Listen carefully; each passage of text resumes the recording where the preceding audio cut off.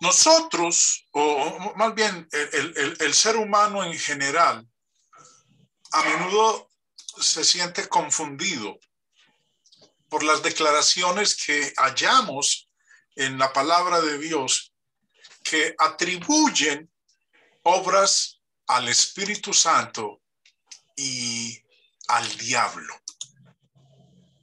Yo quiero que observemos tres pasajes en particular en el inicio de, esta lección. Quiero que empecemos en el caso de Ananías y Zafira. Hechos capítulo 5 dice en el verso 3, y dijo Pedro, Ananías, ¿por qué llenó Satanás tu corazón para que mintieses al Espíritu Santo? O en, segunda de Corintios capítulo 4 el apóstol Pablo dice, pero si nuestro evangelio aún está aún encubierto entre los que se pierden, está encubierto, en los cuales el Dios de este siglo cegó el entendimiento de los incrédulos para que no les resplandezca la luz del evangelio de la gloria de Cristo, el cual es la imagen de Dios. Y un texto más. En primera de Tesalonicenses 2 dice Pablo en el verso 18, por lo cual quisimos ir a vosotros, yo Pablo, ciertamente una y otra vez, pero Satanás nos estorbó. Estos tres textos que acabo de leer atribuyen estas obras al Espíritu Santo. Una vez más, ¿cómo llenó Satanás el corazón de Ananías?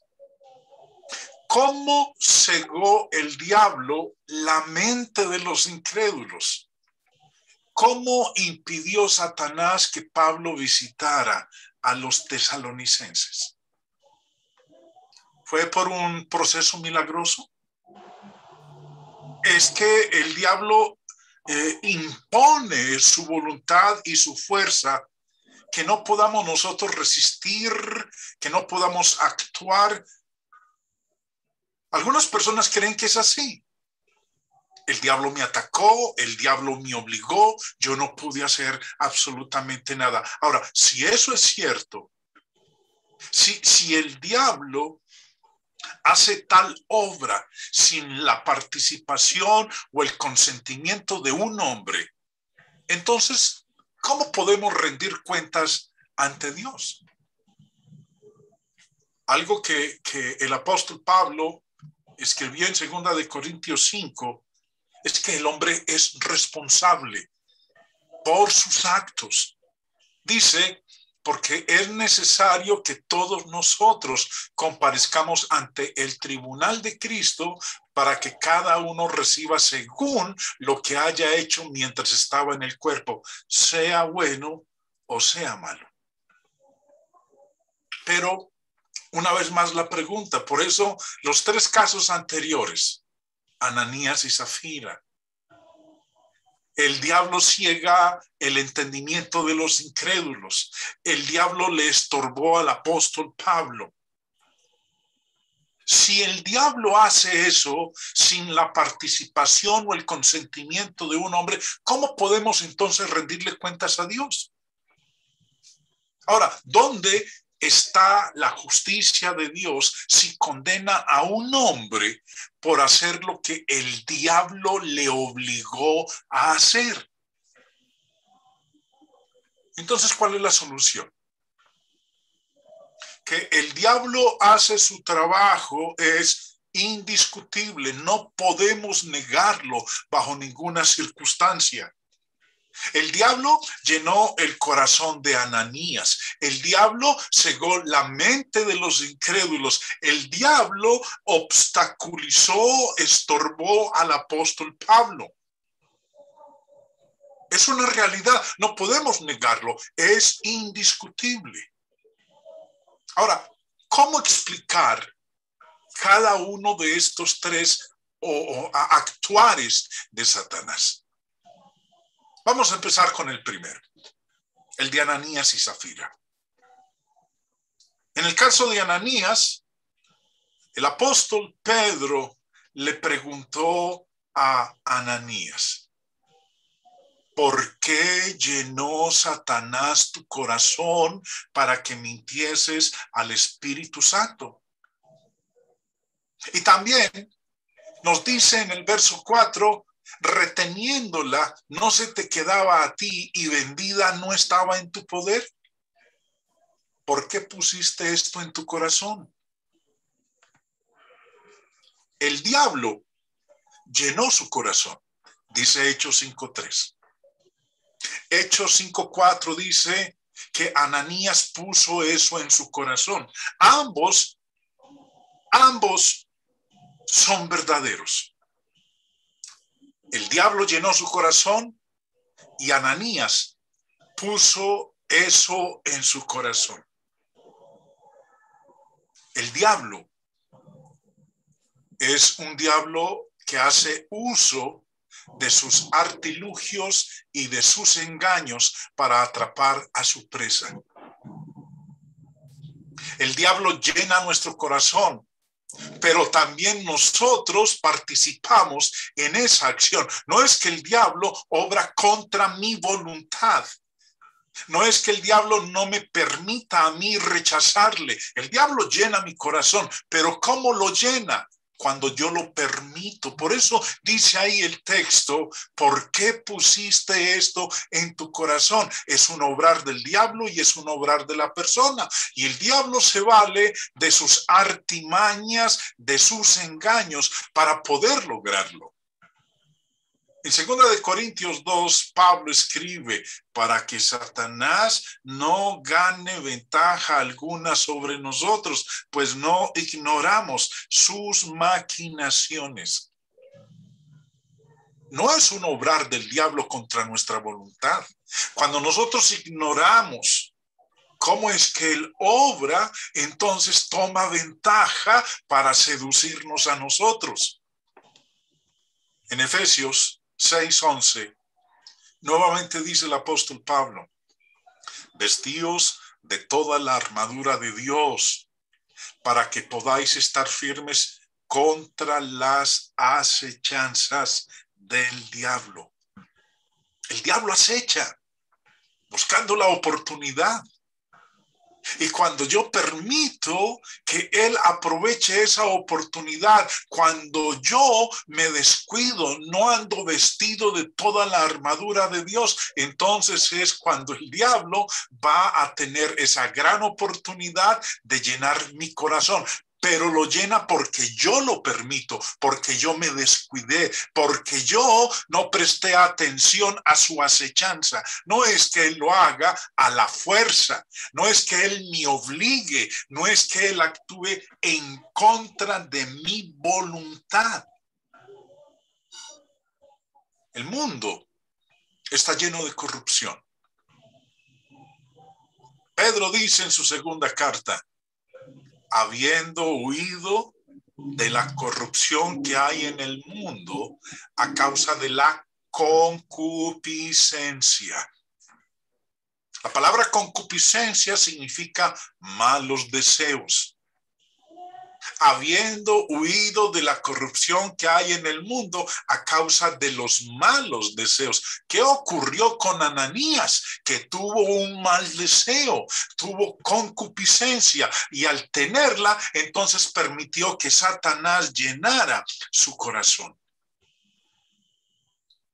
Son tres medios utilizados por el diablo para poder llenar nuestros corazones.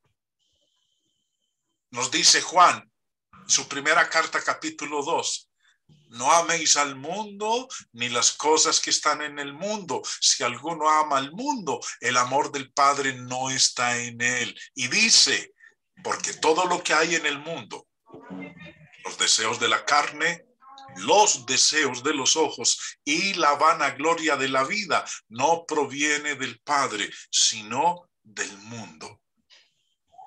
A través de ellos, a través de los deseos de la carne, de los deseos de los ojos y de la vanagloria de la vida es que se concibe el pecado. Cuando yo me dejo atraer por los deseos de la carne, por los deseos de los ojos, por la vanagloria de la vida, es cuando el diablo entonces llena mi corazón. Yo permito que él llene mi corazón. Soy yo y el diablo los que trabajamos unidamente.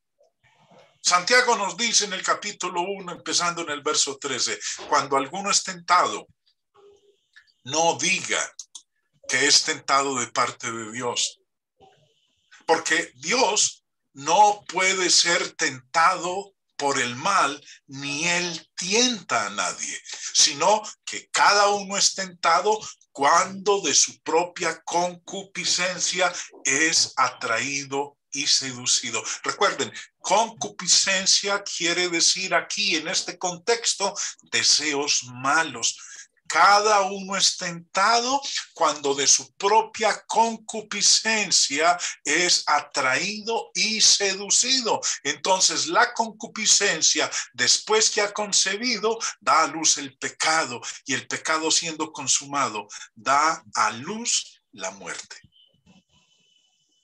Sí, Satanás llenó el corazón de Ananías pero ¿cómo lo hizo? Lo hizo por medio de la concupiscencia, lo hizo por medio de los malos deseos. No lo hizo, Satanás no llenó el corazón de Ananías sin la cooperación y el consentimiento de Ananías. El diablo no puede obrar en contra de nuestra voluntad. Solo lo hace si nosotros se lo permitimos. Satanás llenó el corazón de Ananías, pero porque Ananías dio el consentimiento y cooperó para que así sucediera. Lo otro que quiero que continuemos mirando es lo que el apóstol Pablo dice en segunda de Corintios 4 verso 4, en los cuales el Dios de este siglo cegó el entendimiento de los incrédulos. Satanás ciega la mente de los incrédulos. Sobre eso no puede haber ninguna duda. Pero también esa ceguera que produce el diablo en los incrédulos es una ceguera autoinfligida. No es que el diablo, por un poder milagroso, sobrenatural, nos hace perder la vista. No. Cuando el incrédulo cega su visión. Por eso dice, el Dios de este siglo cegó el entendimiento de los incrédulos para que no les resplandezca la luz del Evangelio tiene que haber una decisión personal para que así ocurra. El profeta Jeremías, en el capítulo 17, dice en el verso 23, pero ellos no oyeron, ni inclinaron su oído, sino endurecieron su cerviz para no oír, ni recibieron ni recibir corrección. ¿Quién endureció su cerviz? Ellos. Ellos no oyeron ni inclinaron su oído, sino endurecieron su cerviz. Fue una decisión personal. En el capítulo 19 ahí de Jeremías dice en el versículo 15, porque han endurecido su cerviz para no oír mis palabras quienes endurecieron su cerviz, sus cuellos para no ir? Ellos mismos. Zacarías capítulo 7 dice, pero no quisieron escuchar. Antes volvieron la espalda y taparon sus oídos para no oír. Y pusieron su corazón como diamante para no oír la ley ni las palabras que Jehová de los ejércitos enviaba por su espíritu por medio de los profetas primeros. Vino, por tanto, gran enojo de parte de Jehová de los ejércitos. ¿Quiénes cerraron los ojos para no ver? ¿Quién lo hizo? ¿El diablo o ellos mismos. Pablo nos dice en segunda de Corintios 4:4, el Dios de este siglo cegó el entendimiento de los incrédulos. Pero en, en, los textos que acabamos de leer en Jeremías y aquí el que estamos leyendo en Zacarías nos muestra a nosotros que fueron ellos, no quisieron escuchar, taparon sus oídos para no oír ellos lo hicieron. Ahora, no existe ninguna contradicción. El mismo Señor Jesús en Mateo capítulo 13 dice en el verso 15, porque el corazón de este pueblo se ha engrosado y con los oídos oyen pesadamente y han cerrado sus ojos para que no vean con los ojos y oigan con los oídos y con el corazón entiendan y se conviertan y yo los sane. Ahora, no hay ninguna contradicción entre lo que dice Pablo, lo que dice el Señor y lo que acabamos de leer en Zacarías y en Jeremías. En un pasaje dice que el diablo lo hizo. En otro dice que lo hicieron ellos mismos. Ahora, ¿y por qué lo hicieron ellos mismos? Bueno, el apóstol Pablo nos dice en Efesios 4 que ellos se entregaron a la lascivia. Leamos. Esto pues digo y requiero en el Señor, que ya no andéis como los otros gentiles que andan en la vanidad de su mente, teniendo el entendimiento entenebrecido, ajenos de la vida de Dios por la ignorancia que en ellos hay, por la dureza de su corazón, los cuales después que perdieron toda sensibilidad, se entregaron a la lascivia para cometer con avidez toda clase de impureza. El diablo usó sus concupiscencias, sus malos pensamientos para cegar sus corazones, usando su propia voluntad y el deseo de sus corazones de prácticas codiciosas, el diablo ciega la mente de los incrédulos. Ahora, vamos a lo tercero que nos dice el apóstol Pablo. Por lo cual, quisimos ir a vosotros. Yo, Pablo, ciertamente una y otra vez, pero Satanás nos estorbó. Ya vimos, hermanos, inicialmente cómo fue que Satanás llenó el corazón de Ananías para que hiciera lo que hizo. Acabamos de ver cómo es que el diablo ciega el entendimiento de los incrédulos para que no le resplandezca la luz del Evangelio de nuestro Señor Jesucristo.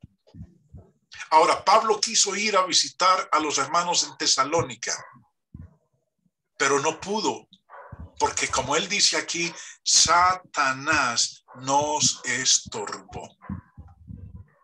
La pregunta, ¿Por qué medios impidió Satanás que Pablo pudiera ir donde los tesalonicenses? ¿Qué hizo el diablo para lograr impedir eso? O como lo dice ahí, Pablo no se estorbó. ¿Cómo es que el diablo le estorbó? Ahora, si el diablo le estorbó a Pablo, también nos estorba a nosotros hoy en día cuando queremos hacer ciertas cosas. Pero ¿cómo lo hace? En el caso particular de tesalonicenses, lo hizo usando hombres malvados. En Hechos 17:13 nos dice, cuando los judíos de Tesalónica supieron que también en Berea era anunciada la palabra de Dios por Pablo, fueron allá y también alborotaron a las multitudes. ¿Qué instrumentos utilizó Satanás para obstaculizar, para impedir que Pablo fuera a Tesalónica? Bueno, dice que cuando los judíos de Tesalónica se enteraron que Pablo estaba en Berea anunciando la palabra de Dios, fueron allá y ¿qué hicieron? Alborotaron las multitudes el diablo impidió que Pablo fuera a Tesalónica usando hombres malvados. No fue de una manera sobrenatural, no usó un acto milagroso, no hizo uso de ningún prodigio, hizo uso de hombres malvados.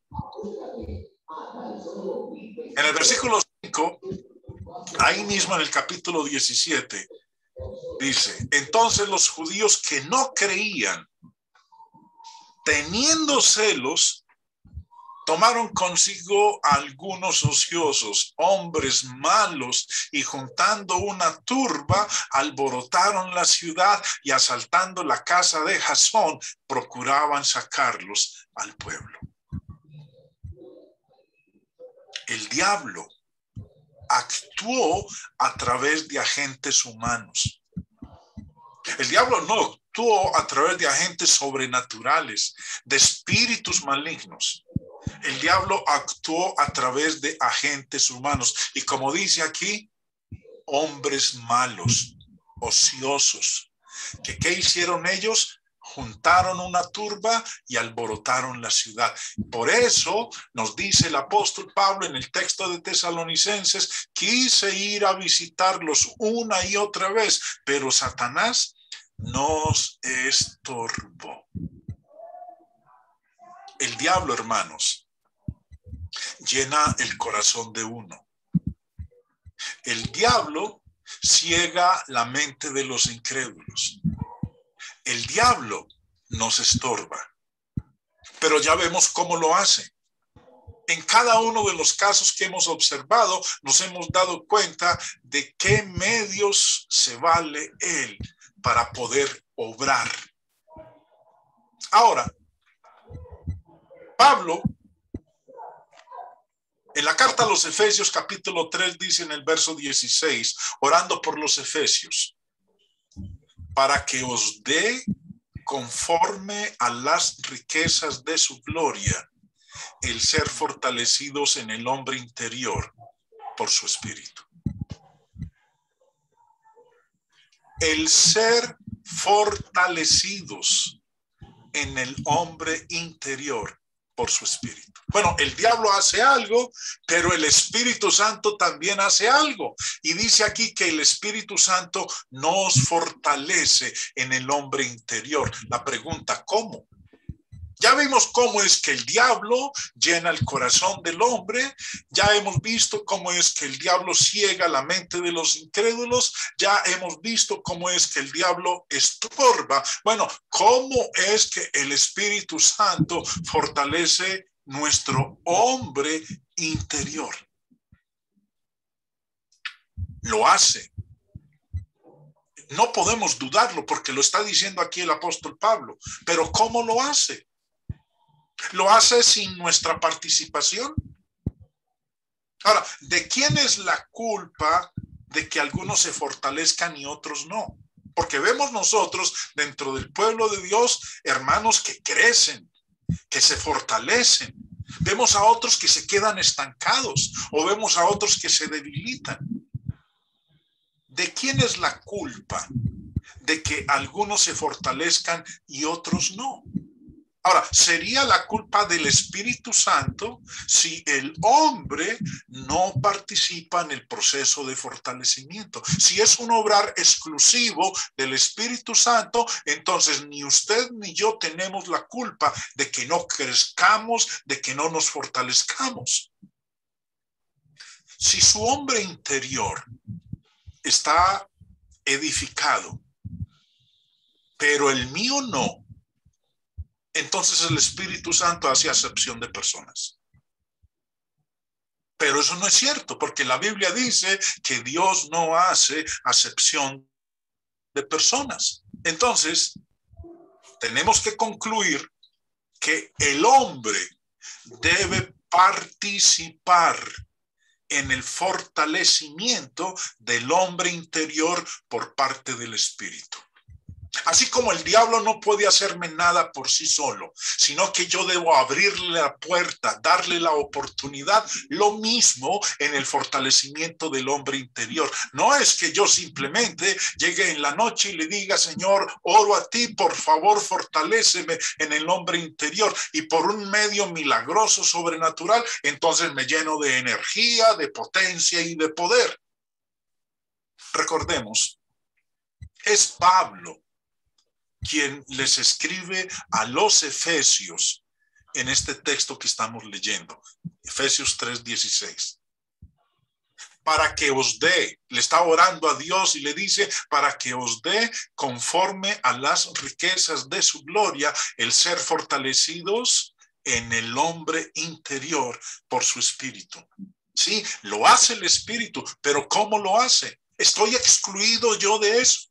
Es algo que lo hace solamente Él, no requiere, no exige mi participación. Pablo le está escribiendo a los efesios en este pasaje. Y a esos mismos efesios, en el capítulo 20 les dice, enviando pues desde Mileto a Éfeso, hizo llamar a los ancianos de la iglesia y les dice, verso 32, y ahora hermanos, os encomiendo a Dios y a la palabra de su gracia, que tiene poder para sobreedificaros y daros herencia con todos los santificados. Os encomiendo, verso 32, os encomiendo a Dios y a la palabra de su gracia que tiene poder para sobreedificaros.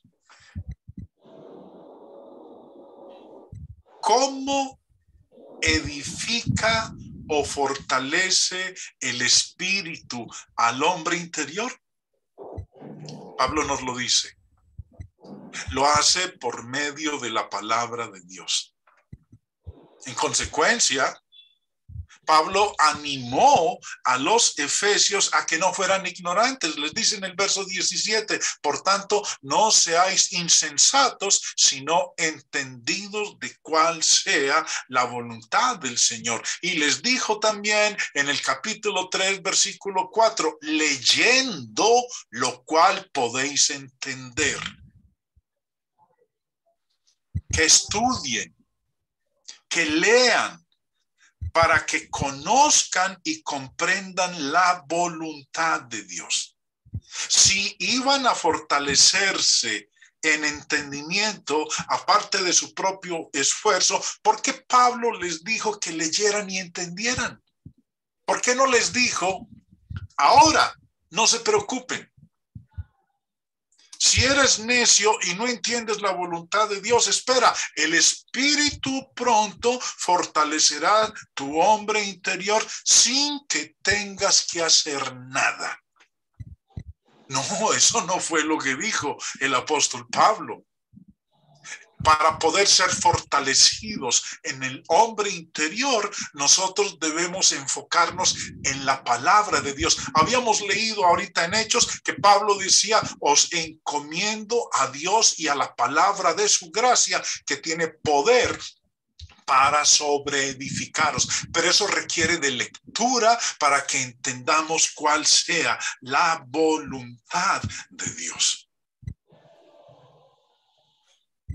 O como dice el apóstol Pedro, y habla de un niño, toma la figura de un bebé y dice en el verso 2, primera de Pedro 2, 2, desead como niños recién nacidos la leche espiritual no adulterada para que por ella crezcáis para salvación para que un niño crezca, para que un niño se fortalezca, debe alimentarse, debe tomar su leche y va a crecer. Queremos ser fortalecidos en el hombre interior, pues nosotros también tenemos que nutrirnos de esa leche espiritual. De otra manera, el hombre interior no será fortalecido. No va a ocurrir de manera sobrenatural, sin recurrir a la palabra de Dios, sin participar en la palabra de Dios, sin llenarnos de ella, sin conocerla, ignorarla, jamás será posible que el Espíritu Santo nos fortalezca en el hombre interior. Esto no es un obra sobrenatural, místico, milagroso, extraño. Dios fortalece a sus hijos. Su espíritu edifica a los santos, pero no lo hace si ellos no lo desean. El Espíritu Santo no fortalece en al, hombre en su hombre interior mientras no estudie y no medite en la palabra de Dios el Espíritu obra, el Espíritu fortalece. Y lo hace a través de la palabra. El diablo obra, el diablo llena nuestros corazones. El diablo ciega la mente de los incrédulos, el diablo estorba, el diablo hace uso de sus medios, pero no lo va a lograr mientras nosotros no estemos dispuestos a dejar que él lo haga. La palabra tiene su poder. Dios nos fortalece a través de ella es el instrumento utilizado por el Espíritu Santo para edificarnos a nosotros. La sencillez de Dios en su palabra es tal que nos permite darnos cuenta cómo es el obrar del Espíritu y cómo es el obrar del diablo.